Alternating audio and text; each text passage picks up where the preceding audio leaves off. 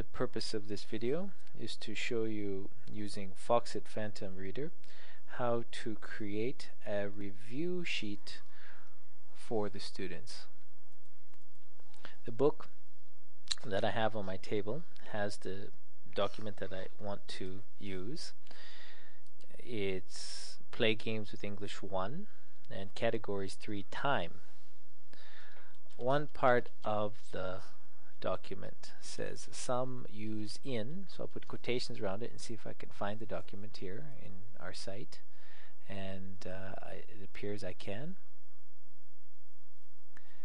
And again, I could do the same thing here, just copy and then paste inside the document. That might work, but yeah, not minus the quotations. And yes, that is the paper I want. So after confirmed, I can go here and then select download. And the document will download. Okay. However, the PDFs online, most of them are secured.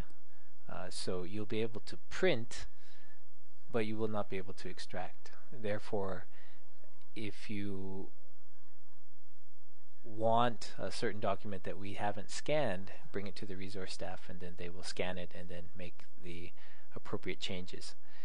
The resource staff will take that document that you have right here, categories 3 dash time.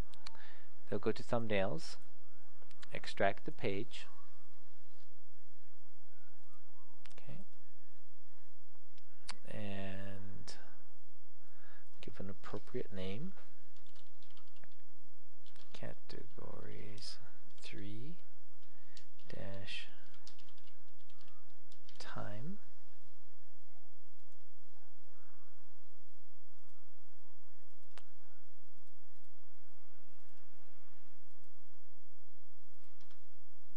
And what I'll do is again go to thumbnails and then I'll insert the same page.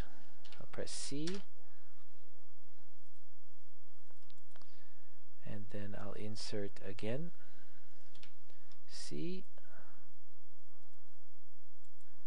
And I'll insert again.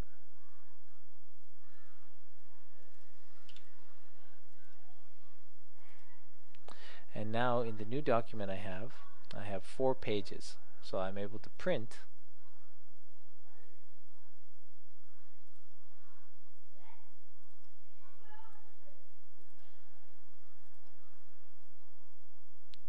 using the following format one two three four.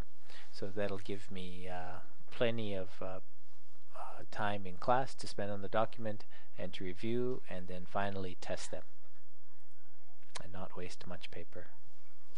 That is the end of this video